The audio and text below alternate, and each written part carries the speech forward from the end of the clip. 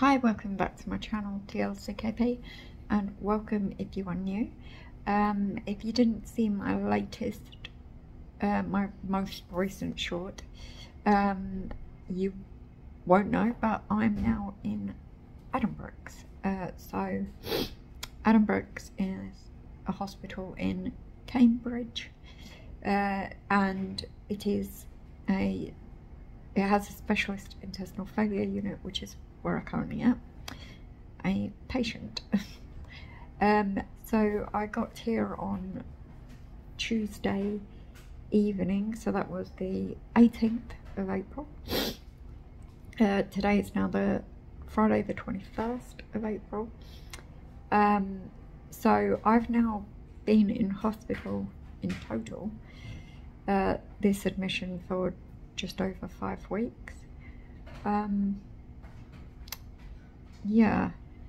Um, I can't say that the experience since I've been here has been brilliant. Um, I don't really like to talk down and things like this on these videos, but it's the truth so I'll just give you the truth so I got here so I had a transport ambulance bring me from my local hospital to here on Tuesday and got here about 10 quarter 6 in the evening um, where I was put in a little waiting room so anyway so they came and did some admission stuff and things like that and then they said, oh, the room should be done soon.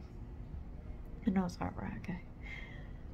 Well, it got later and later and I still wasn't in a room. They came, they did my medications. And then at nine o'clock, they then said there was a problem with my room because unlike my last admission, I'm actually in a side room and um, so I believe, judging by what was left on the door afterwards, person before me that was in this room had an infection of some sort. So yeah, so uh, they use some machine thing to make sure it's properly clean and it obviously it broke stopped working partway through or something like that anyway um so they then had to run it again to make sure it was safe. Um, so yeah, so I then moved from my wheelchair onto this very tiny sofa, then extremely low back on it. They put like a sheet on it first because it was like a plasticky leather thing, and I didn't want to sweat on it basically. Um, and all I'm sitting there is in a hospital, this like one of these pink hospital gowns, and some knee-high socks, and that's it. Anyway, oh, no, I did have my dressing gown with me, sorry.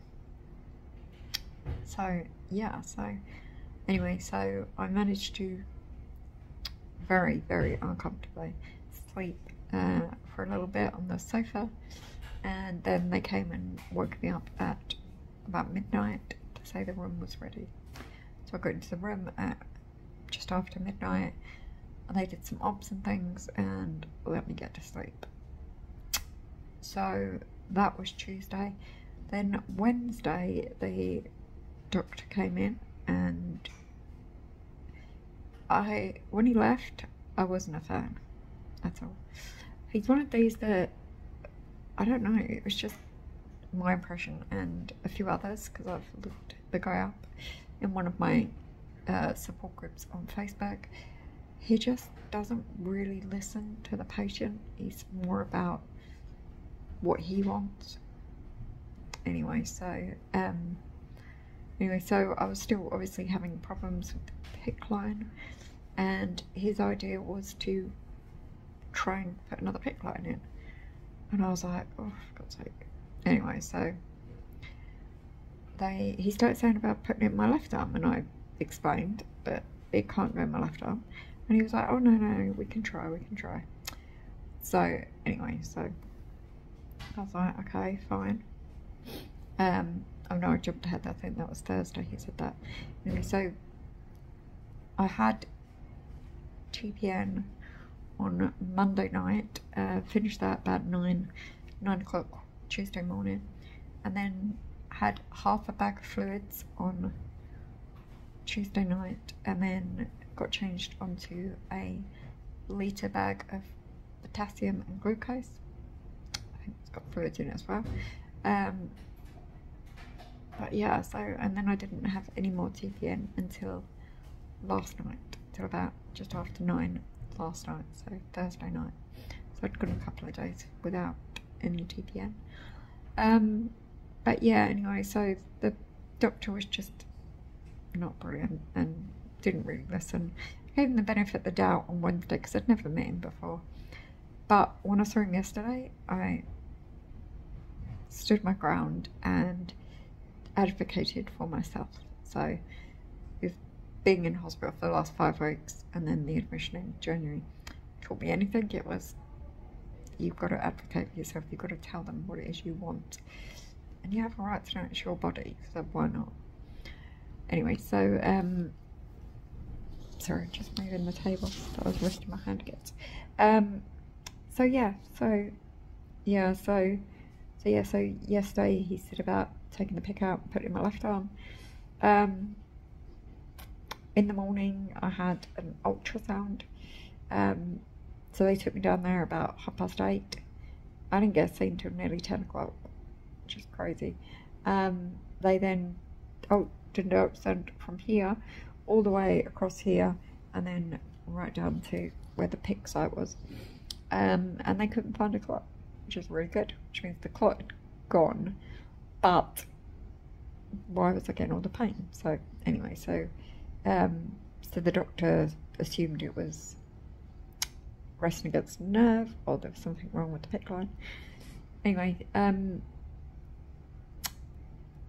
early afternoon I got taken down for, I think it was about half past two yesterday afternoon I got taken down to the vascular lab for the PICC line. So I was like, okay. So the lady said, I need to read your notes. So she went off, come back. She said, we can't use your left arm. So I was like, right, okay. So she was like, she's like, I'll take the other PICC out. If I can't get another one in, then I'll have to either do another CVC or a tunnel line, so like a Hickman line. I was secretly hoping for the Hickman line. Not gonna lie. I know that's what I need anyway, so, but anyway, so um, so she looked at the basilic vein, which is where my three previous PICCs had been, and uh, she didn't want to try that one again because she didn't want to cause the pain again. Um, so she took the old PICC out. She looked at it, tried to flush it. It was a it was a bit blocked with like blood, and then um, there was like a small hole in it as well sorry. Um, just had to check something so it came up on my phone. Um, anyway, so um, there was a small hole in the PICC line and a little sort of, sorry, someone came in the room. Um, yeah, so they found a, there was this tiny hole in the PICC line and like blocked with blood. Um, so yeah, so they didn't think that would be helping. Anyway, since they've taken it out, nothing at all. Um, yes, I haven't had any pain at all, so I'm really glad. Uh, the only pain I've got is from the new PICC line, where they put it in the cephalic vein, so it's more around the top of my arm, but it goes more up, like, more up here, so it's like, it's uncomfortable when I move my arm. It's just sore at the moment, but apart from that, it's all good. Um, so, yeah, um, yeah, it's really good. But, um, I'm glad that the pain's gone. It's not really good. I don't want another PICC line, but I'm glad the pain's gone and I don't have the pain from the clot anymore. Uh, that I don't have the clot anymore. And I'm glad that the pain in my arm has gone and this is just more because I've had the new PICC line put in rather than any other pain. So hopefully um, by tomorrow, hopefully, the pain will have gone and I won't need any other pain relief for it. Yeah, so that's really good. Um, that the pain's gone. Um, oh, some of the issues in this hospital, though, I mean, seriously, when I went down to X-ray, because um, after after you have the PICC line in, you have to get an X-ray to make sure it's in the right position, because it goes into your heart, so you have to make sure that it's the right position. Um, so I went to X-ray, and for some reason, they took me to outpatient X-ray uh, because I believe it's like closest to the vascular lab, and of course it was like I don't even know half past three by this point, and it took ages to a point where one of the radiographers that kept going in and out with patients came over to me and said, "You've been here a while. Why have you your X-ray?" And I was like, "No." Anyway, so I finally got back to the room at I don't even know 20 to 5 maybe. Because as soon as I left x-ray it clearly was in the right position and then they brought me back to the ward. Um, and then today the dietitian uh, the doctor came and saw me this morning. Um, but yeah didn't really say much apart from trying to take me off of the strong painkillers and I was like nope not yet thanks um, I really do need some painkiller now actually uh, so I've pushed my buzzer, so fingers crossed someone comes soon. Had some paracetamol, but hasn't done anything. Um, anyway, yeah, so, and then the dietitian came and she was here for quite a while, over an hour.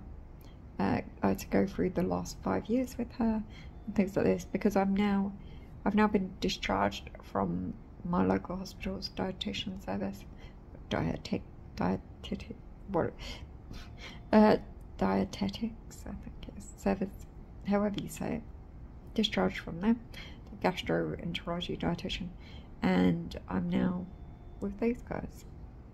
So this is now my hospital for all things gastroparesis, intestinal failure related, basically. But yes, so um, just I don't really have much else to say. Um, dietitian spoke about you know going home with PN, so parenteral nutrition, um, and spoke about everything that comes with that, and just that basically she expects me to be here for another two weeks, maybe. Hopefully, she meant two weeks from admission, which means like week Tuesday, week Wednesday, which would be great. Um, yeah, I've never wanted to be home more than I do since being here. I think maybe because I know the next stage is home, so you know, but I also know that being here for this amount of time means that I won't need to go back to hospital and stuff like that as soon. Um, so fingers crossed, things go well.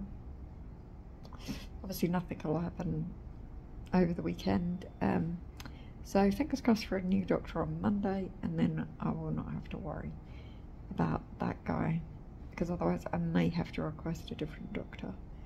Um, because I don't feel like he's got my best interests uh, to hand when he's discussing me it's more like what he wants rather than what would be best for me. So, um, but yeah, but yeah, hopefully that won't be the case, and it will just be like my previous hospital, new consultant on the ward every week.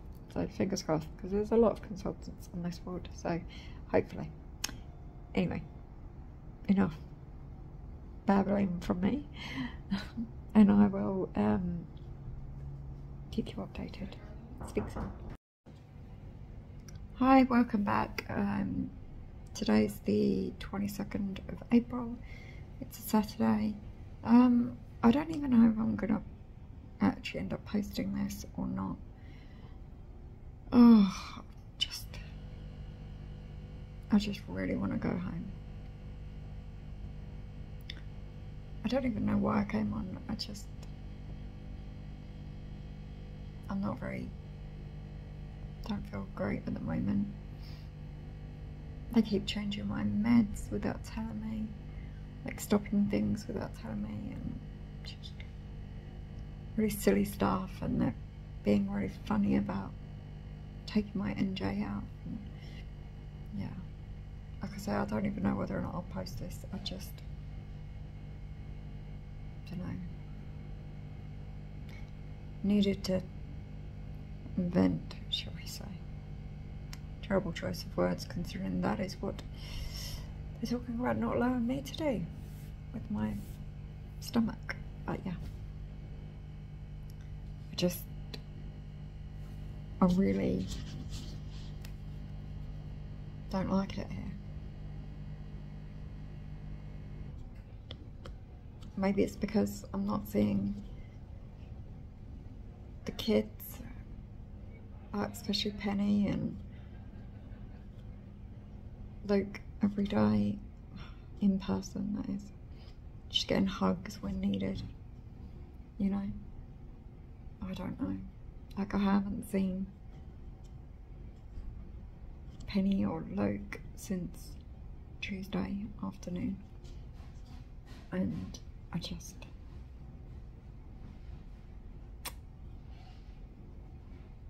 Just want to go home. Um.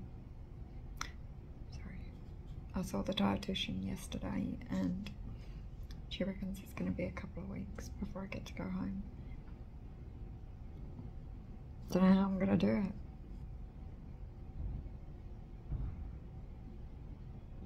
I don't know. Hopefully, my mum will be able to bring Luke and Penny up this week and I'll get to see them. I don't know. But anyway, if I do end up putting this on, then just keeping it real, I suppose. It's hard. It's really hard. But yeah. Speak soon.